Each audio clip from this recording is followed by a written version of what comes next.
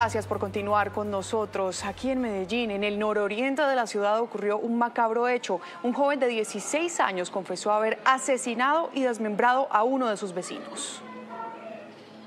Hasta esta casa, ubicada en el barrio San José de la Cima, en Manrique, nororiente de Medellín, llegaron las autoridades luego de que un joven de 16 años confesara haber asesinado a un vecino del sector. Llegamos al lugar donde él manifestaba que estaban estos, el cuerpo de esta persona, eh, el cual pues se logra evidenciar en tres lugares diferentes, eh, en, una maleta y también allí eh, en dos costales.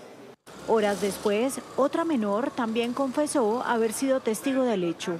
Se acerca una menor de edad, al parecer 16, 17 años, todavía pues esto no lo determina eh, medicina legal, donde ella manifiesta que también estuvo presente en este, en este lugar, en esta escena de, de estos hechos.